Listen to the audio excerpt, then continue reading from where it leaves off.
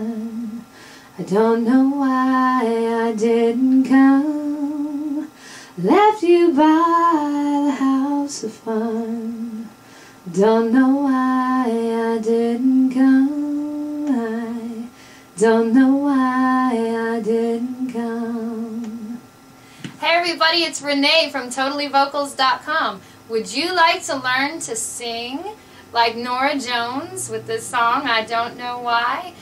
You should come on over to TotallyVocals.com. We're going to break the whole thing down. You know how she's got that beautiful sultry sound to her voice? You know, there's some pretty difficult techniques in there, but you know what? We're going to take those techniques, we're going to break them down for you.